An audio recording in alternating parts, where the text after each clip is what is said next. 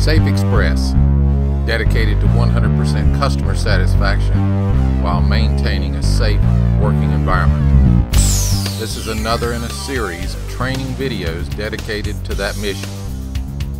Please pay close attention to the details of the video, and if you have any questions at the end, make this known to your supervisor. At the end of the video, you'll answer some basic questions about what you have seen and heard. Answer these questions and give the paperwork to your supervisor. This will help us in order to evaluate our information and continue in our quest to improve our work skills and work environment.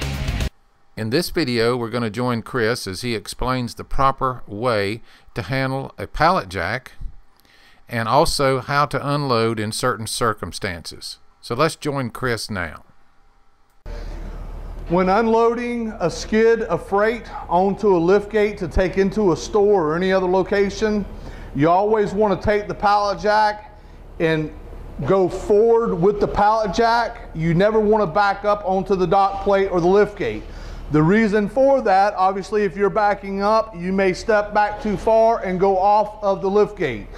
You want to be able to push the pallet jack and the pallet towards the lift gate so that you can visually see everything in front of you for safety purposes. You will take the freight onto the dock plate or, or lift gate.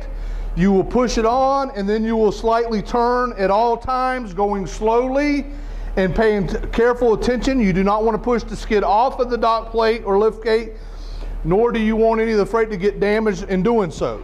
So once you start pushing it on, you will turn the pallet jack sideways onto the lift gate, such as this. Once you have it on the lift gate and it's securely in the middle of it, you will drop your pallet jack. Never go down with the pallet jack jacked up because then the pallet can move around and it can cause a safety issue for yourself. You will then at that point in time turn sideways, step to the side, ensuring that your toes are away from the lift gate in the back of the truck. You will make sure that the lift, the pallet jack is lowered down and secured. And you want to make sure that the handle is turned sideways.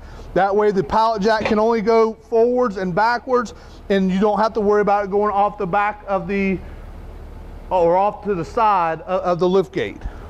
At that point in time, once the wheels are turned sideways, your toes are cleared, you will reach down, bend your knees if need be, push the button and hold the button down until you're firmly down.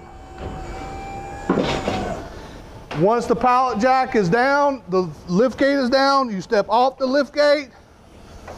At that point in time, you can jack the pallet back up. Again, with the, the, the, the wheels of the uh, pallet jack turned sideways, so once it comes up, it starts rolling off and you have it off the truck. It's the same process once you're coming back onto the truck. Whether you got returns or you just have the pallet jack itself, again, you're gonna push it onto the dock lift gate. You're gonna turn it sideways. You're gonna ensure you're gonna ensure that it's securely in the middle of the lift gate.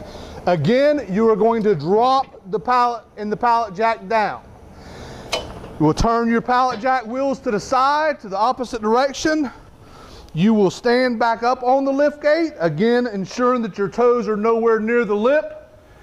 You will raise the button up to raise you up. The reason you want to hold the button to go completely down without stopping or all the way up without stopping is if you take the switch, raise it up and halfway through let it go, it's going to cause it to bounce. You want a smooth transition going down as well as up. So once the wheels are turned sideways, the pallet jack is lowered, the skid is in the middle, the freight is secured. We're going to raise the button up. We're going to hold the button up, again, ensuring that we're not too close to the edge. Our toes are not there. Ride it up. Once the lift gate's up, I will step into the back of the truck. I will again jack the pallet jack up. And I will pull the pallet into the truck and stage it accordingly. In this case, I will take the pallet, this is the only one on the truck at this point in time. I will run the pallet into the truck.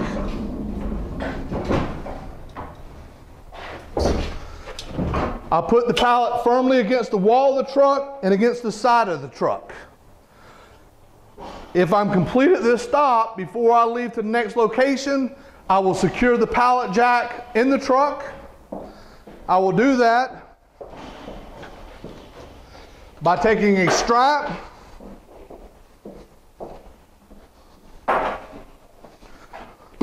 I will take the strap, I will run it underneath the handle on the pallet jack, through the handle such as this. Then I will put it into the E-Track system itself. As you notice, I have it buckled in on the E-strap about two foot past the handle itself. Then I will take the other end of the E-strap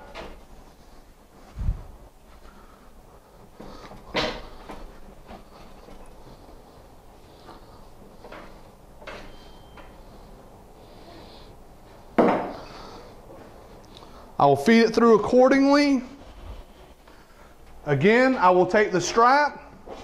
I will come back further from the handle and place this one on the E-track here. And I will pull the strap to where it's firmly in place. And I'll yank on it to make sure that it is secured and strapped. A pallet jack that is not secured will easily roll around in the truck, possibly break the door, and possibly even go through the door if not firmly secured. So the pallet will get strapped in by going in front of the pallet handle and around doing the same on this side. Another reason why you want to do that and keep it above the handle, if this strap were to be on this handle, it breaks this handle. These pallet jacks are about $550, $600, which the driver signs for. They don't want to be the one damaging it.